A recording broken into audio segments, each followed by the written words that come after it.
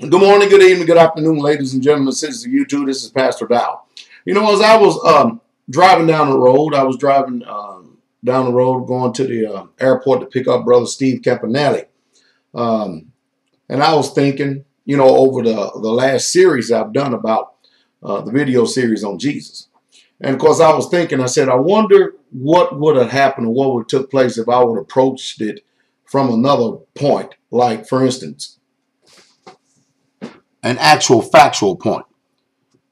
The historical figure, as well as who I believe is the Messiah, and the way that he has been depicted and whitewashed by American and the Europeans is this Jesus was not and never has he ever been a white man.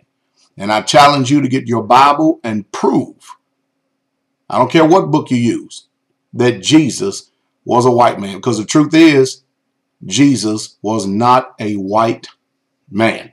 Now, so then I start thinking, how is it in this society that we have been conditioned to say, okay, some things are okay for us to talk about and to discuss, and other things are not okay for us to talk about or discuss.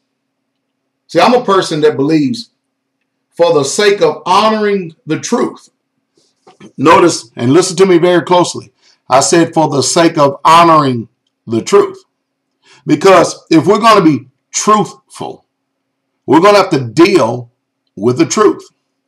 Now, I noticed one thing about this country, and I noticed, I said this country because Pastor Dowell, you know, I, I have visited many places in this world. Um, I, have been here in America, many states in this union. I've been to Honduras. Um, I, have been just this just to name a few places. I've lived in Germany for three years. I've been to England, France. Um, I mean, I've been to a lot of places in in this little short period of life that I've lived, and I understand the sentiments of a lot of places um, and, and and cultures.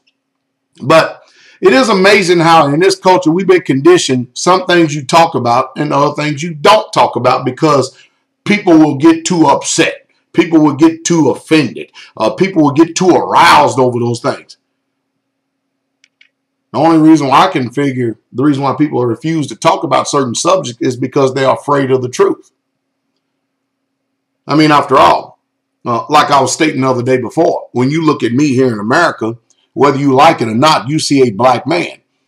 Um, if I was to go out and rob a store and a white woman saw me robbing a store and the police was asking for a description of me, um, they would definitely ask what type or what color man was he. And then the woman, if she replies, oh, I don't see no color, she will be a liar.